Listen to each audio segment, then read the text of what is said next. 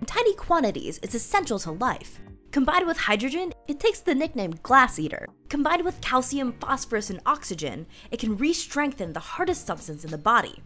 It's fluoride.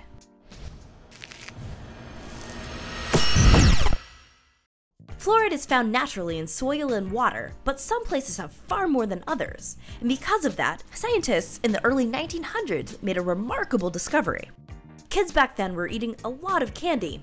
All that sugar in the candy was causing lots of cavities, but kids living in areas with more naturally occurring fluoride in their drinking water had fewer cavities 50% fewer. So, why does fluoride have that effect? Well, if you eat a lot of sugar, Microbes that naturally hang out in your mouth convert that sugar into an acid. The enamel on your teeth is actually the strongest material in the human body, harder even than bone. But even tooth enamel breaks down in acid, which opens up holes in your teeth, better known as cavities. Tooth enamel is also called hydroxyapatite. When you add fluoride to tooth enamel, it switches out the hydroxy part and makes fluoroapatite. Fluoroapatite resists acid damage and voila, fewer cavities. So the fluoride discovery led towns all over North America and elsewhere to add it to the drinking water, a process called fluoridation. Cavities decreased, but some of the tensions increased. Chemicals in the drinking water, fluoride is poison, mandrake, etc. The reality is, fluoride was already naturally occurring in drinking water in many places. Those areas didn't have higher rates of weakened bones or cancer or anything else compared to areas with lower levels of fluoride.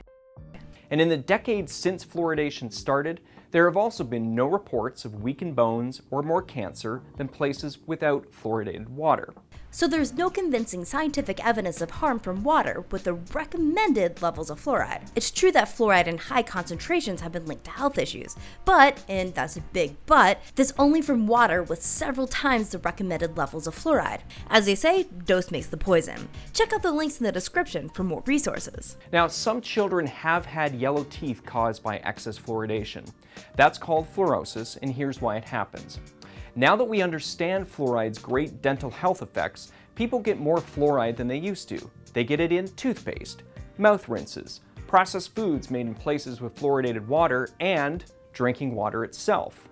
But yellow teeth from fluorosis is mostly a cosmetic side effect, and these kids still have fewer cavities. Areas with lots of naturally occurring fluoride have dialed back the amount of added fluoride to prevent excess yellowing of toddler teeth. So if you enjoy candy and have fewer cavities than your grandparents, you can thank fluoride.